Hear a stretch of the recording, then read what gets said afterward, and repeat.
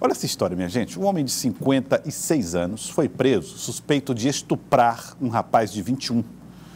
Segundo a família, esse rapaz de 21 sofre de transtornos psiquiátricos. O acusado é vizinho da vítima e gravou vídeos do abuso sexual. Ele gravou vídeos do momento do abuso. Vamos acompanhar na reportagem de Tiago Melo.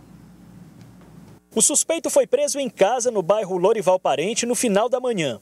O homem de 56 anos, cujo nome não foi divulgado, é acusado de estuprar um jovem de 21 anos e ainda filmar a ação.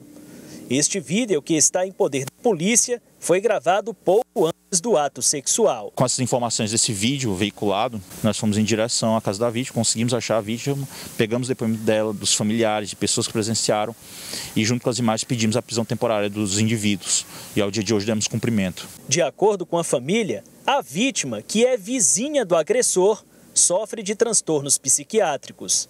O fato ocorreu no final do mês de abril.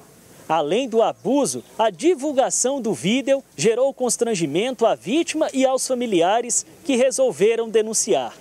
Aqui na delegacia, o investigado disse que o ato foi consensual. A versão dele é que foi com o consentimento do, da vítima, embora a vítima seja maior, mas a, a, agravante aí vem com o entorpecente, quer seja bebida alcoólica ou outro tipo de entorpecente. A família já aponta que ele tem problemas psíquicos, já faz um tratamento com relação a isso. E se isso comprovado nos autos, né, essa prisão temporária será transformada em prisão preventiva e ele ficará preso até que ocorra o seu julgamento. O irmão do investigado, que também participou da ação, está sendo procurado.